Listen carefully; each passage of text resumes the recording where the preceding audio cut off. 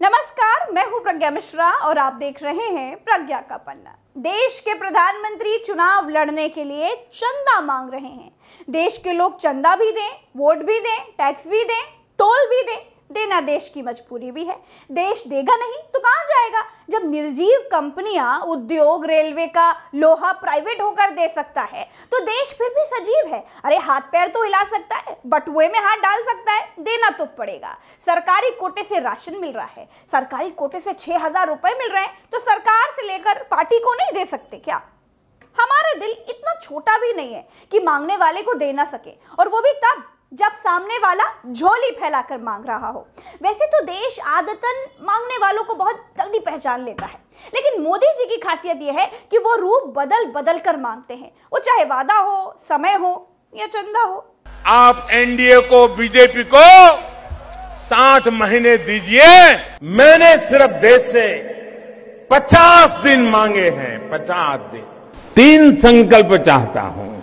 मैं आपसे यही मांग रहा हूँ। राम मंदिर के लिए चंदा मांगा, हमने दिया। वोट मांगे, हमने दिए। वैक्सीन लगाकर पेट्रोल डीजल पर चोरी से टैक्स लगा दिया, हमने दिया। लेकिन ऐसा नहीं है कि मोदी जी हमेशा मांगते ही हैं, देते भी हैं। ऐसी ऐसी चीज़ें दी हैं जो आज तक किसी भी शासक ने नहीं दी। महँगाई दी, हिंदू मुसलमान के लिए घृणा का वातावरण दिया, लाशें वेटिंग में लगाने का मौका दिया, ऑक्सीजन की कमी से मरने का मौका दिया, नोटबंदी में लाइन में लगने का साहस दिया। कभी न दिखाई देने वाली स्मार्ट सिटी दी गंगा साफ़ करने का भाषण दिया।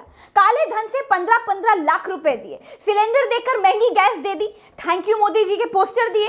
अरे चीन के ज़मीन कब्जाने का जवाब टिकटॉक बंद करके दिया। विदेशों में डंका बजा दिया। रुपयों की कीमत को गर्त में पहुँचा दिया। जीडीपी को ठिकाने लगा दिया। देश को भूखों की लाइन में लगा दिया। देने के मामले में दुश्मन भी मोदी जी को क्रिटिसाइज नहीं कर सकते। देश को मोदी जी जैसी हिम्मत कुवत ताकत जोश, जज्बा, धोखा सॉरी धैर्य किसी ने नहीं दिया।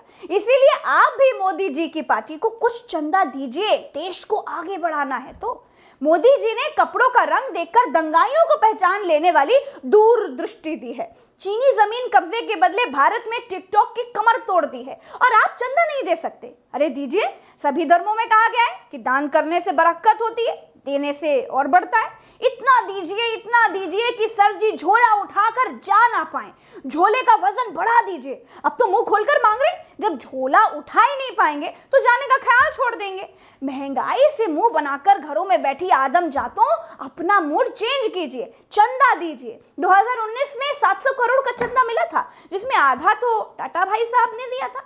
सीखिए कुछ मेक इन इंडिया वालों से। देश प्रेम की भावना है कि मर गई।